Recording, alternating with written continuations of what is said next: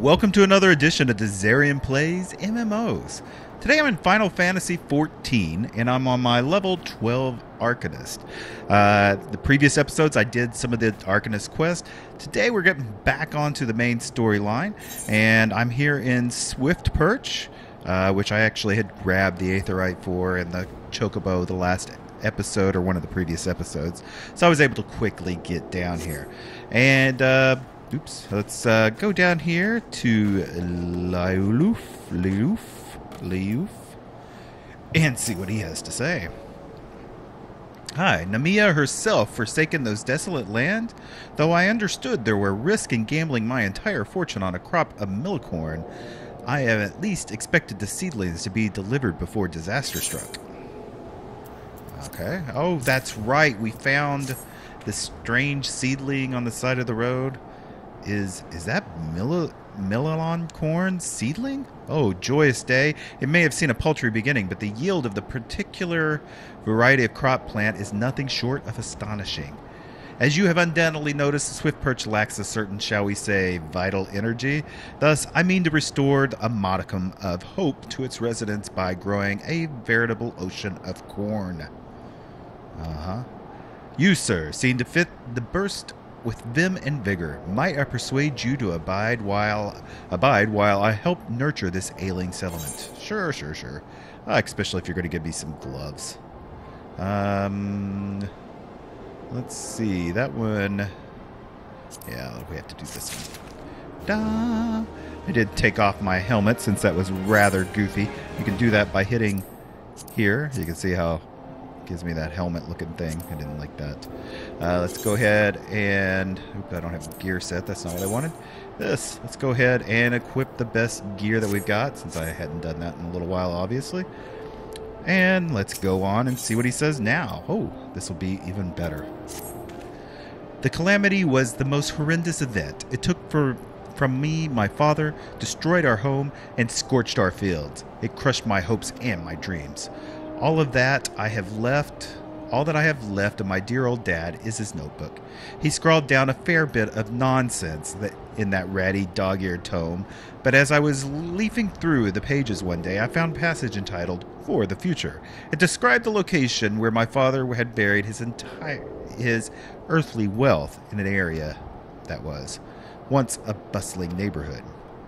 I was not aware the family possessed much in the way of treasures. Could the crafty rapscallion have squirreled away a bulging bag of gil or precious stones? Just think of the contribution I might make to Swift, per- Swift Perch revival with such a fortune at my disposal. The catch? Ah, yes, the catch. The area is crawling with bandits and wild jackals. I need someone, that's you, uh, to search among the derelict house in the flock up in the flock and dig up the casket my friend buried. All right, so we're going to go find out what kind of riches are in the field. Uh, is it telling me to go over here? No. I mean, this is the levemete. I know about that. Where is... Oh, I guess it's up here. Ah, duh. And it looks like we're coming up on the spot here. There are some jackals around, but let's see what happens.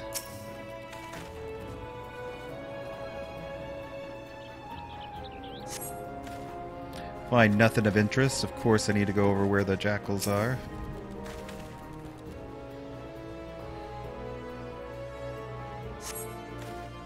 Nothing.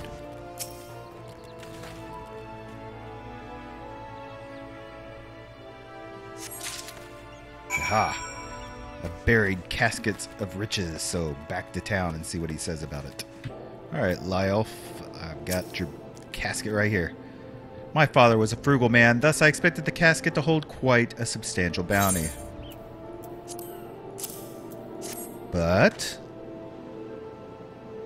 this this is my father's entire earthly wealth? Why, there's nothing here near but a fistful of wheat seeds. What in Eorzea could have possessed him to so carefully conceal such a mundane? I remember now. He once told me that our family's wheat was an was as a stubborn weed. It was one of the few crops that could take root in the barren soils of the western La Noscea. Uh, with these seeds, our lifeless fields could once again sprout golden stalks. Thank you. Oh, thank you. You have truly given the settlement a chance to build a new future. Cool. Yep, going to take that jacket. Let's see what that looks like. That's this one right here. Whoop. Ah, back to wearing a dress. And now... Aha. He's got another quest, but Freylouf has the main quest, so let's see what he has to say. Uh, I'm not really doing the side quest in this series. I'm only doing points of interest and uh, dungeons, and when we get to that point and everything else. So it's not going to be a lot of side questing and stuff. I'm not going to do everything on camera.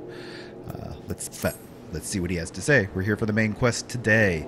You there, adventurer, cast your eyes toward the brewer's beacon. Does that light not seem uncommonly weak? I don't know what you're talking about, dude, but okay. I cannot possibly be bright enough to guide the ships sailing in the bay. I would march over to the lighthouse and investigate myself, but I am duty bound to remain at my post. I would consider a favor if you could go make and visit the brewmaster's beacon, the brewer's beacon, not the brewmaster's, and see if it aught has befallen Causeway, the lighthouse keeper. Aha. So, uh, where's the where's it at? I don't even see it. I guess maybe that's the point. Is that that's it up there? Maybe. So uh, let me head over there. Aha! There's the beacon right up there. You can see it's a uh, it's a little dim, not to be noticed. Okay, conswise. You say the Yellow Jackets sent you here? Eh, me light's grown dim, has it? Well, of course it bloody has. The bomb was the fuels me furnace has up and buggered off, you see. If I don't get that beacon fixed up soon, there'll be trouble on the water. Yeah. I know you're just a messenger, lad, but I can tell the veteran when I see one. I'm going to need you to chase down that bomb and bring him back the claw. Bring back a claw that you ripped from his smoldering corpse. Take this here iron brazier and set her down in the middle of the flock, somewhere near the scarecrow, I'd say. Yet get a nice fire going, and that frisky bomb will soon be about. Watch you don't singe your eyebrows, lad. All right. I can do that, whatever that all meant. uh, is it out here? Yep. And there's, of course, a fate going on. Uh, so I'll be right back when I get out there. Well, just completed the fate to uh, get to the area and got another level, so that's awesome. I'm now level 13. Here's the destination. Use it. Target is not in range. Let's try this again. There we go. Oh, this is the scarecrow. now, we should see a bomb here soon. Where's he at?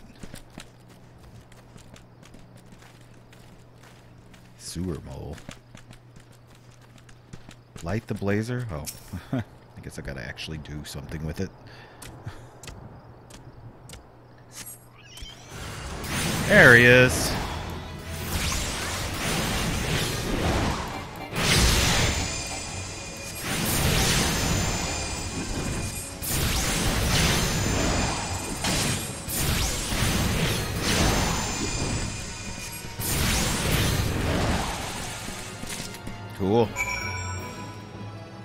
Now we just got to go back to the lighthouse, which is right over there, looking pretty cool. And turn this in. All right, I got your bomb parts. All you need to do is take down the runaway bomb and bring me one of its little claws. I did.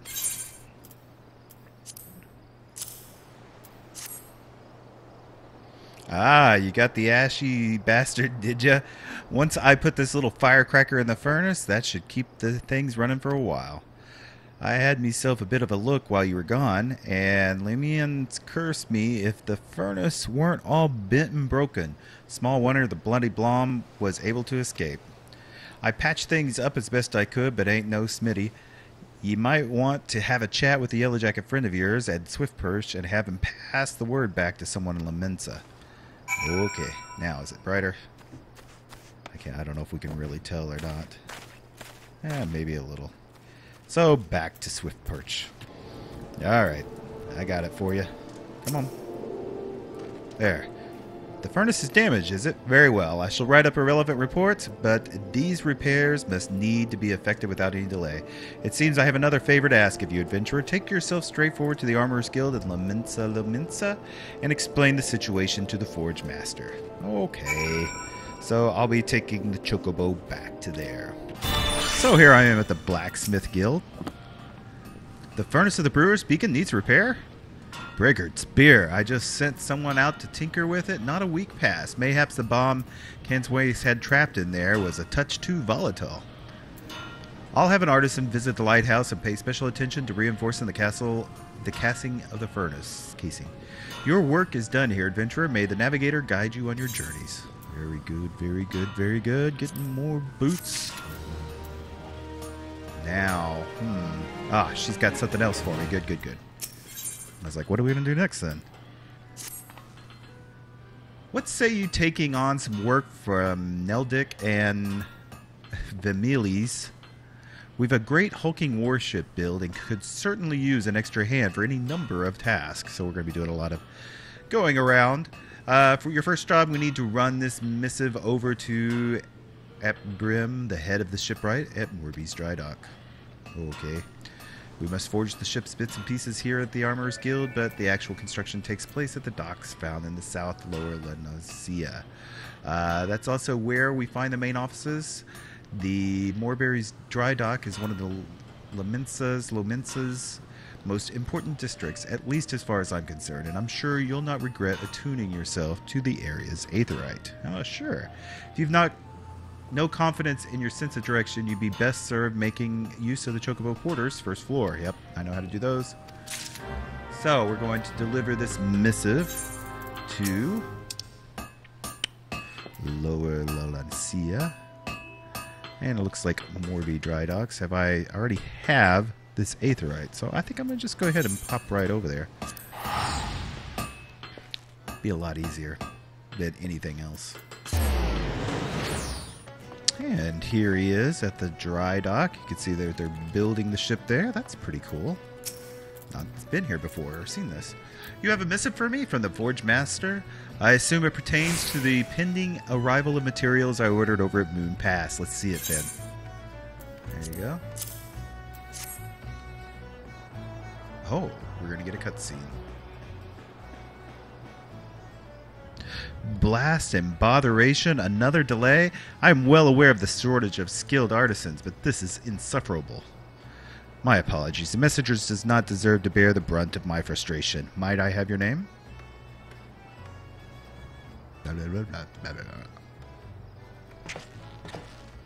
Dizzarian it is. Well, Dizzarian, the proud maiden you seek taking shape before you is the Victory, the first new vessel to grace the docks since the calamity.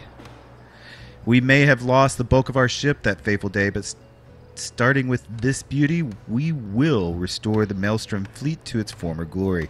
The victory is more than a simple warship, it is the symbol of Limsa Lominsa's rebirth and the wreckage wrought by the coming of the seventh Umbral era. Thus, we are striving to complete her construction as swiftly as possible, even going so far as to hire veteran shipwrights from outside the Thalassocracy. Yet, even with such unprecedented measures, there are never enough hands to handle the abundance of tasks. Should you choose to linger at the docks for a time, there's no end of jobs or hardworking adventurers. Be you fair warned, there's no place here for layabouts or troublemakers. Awesome. Hey, it looks like we're going to get some pants to go along with this as well. Very cool. So I have a feeling the uh, next couple of missions are going to be uh, more going back and forth and no real cutscenes. So I'm going to go ahead and wrap this episode up here. I hope you enjoyed this. If you did, make sure you hit that like button and leave any comments you may have. Uh, haven't been getting a lot of comments on my Final Fantasy 14 videos, so if you do like these, make sure you leave a comment, hit those like buttons because they do guide me in what I'm recording. Uh, so you want to make sure that if you're liking these, that you get it bubbled up to the top. Also, if you haven't already, make sure you hit subscribe because I do cover other MMOs and I try to put out a video every day of the week. So you want to make sure you subscribe so you get notification of that. So, till next time.